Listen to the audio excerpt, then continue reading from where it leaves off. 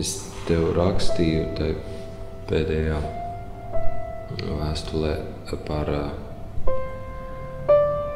par to, ka es sapratu, ka visi dzēnieki ļoti gaiši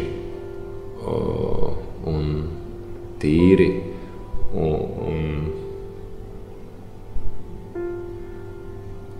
garīgi pat raksta tad, kad viņi raksta mīlestības liriku. Skanistais ietvars ir taisnība šajos autoros, kas caur klusumu bieži vien pasaka daudz ko vairāk nekā ar, ar kaut kādām milzīgām skaņu pleznām. Tas pats Gija Kančelī, vai Arvo Pērts, vai Valentīns Silvestros, mūsu pašu Pēters Vasks. Tās ir, tās ir muzikāls personības, par kurām jau nav jāstāsta. Es ne, nesadzirdu šeit kora klātbūtni kā tādu skanisku vai, vai izteiksmes līdzeklis.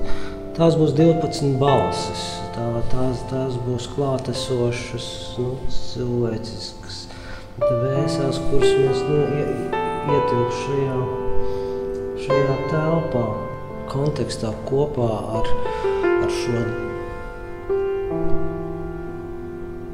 drūm, drūmo laiku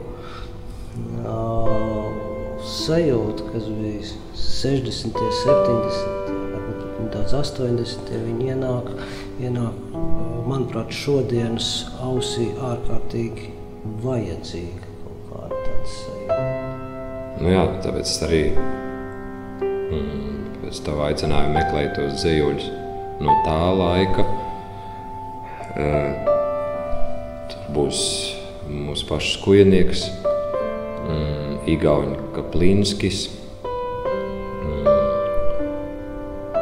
Ukraiņu Korotičs un vēl daži autori.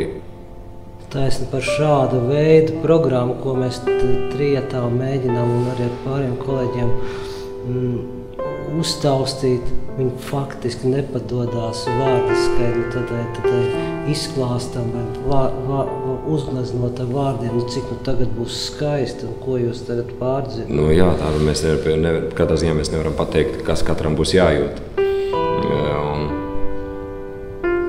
bet, bet nu, tomēr ir pāris tie atslēgas vārdi, man liekas, ir klusums.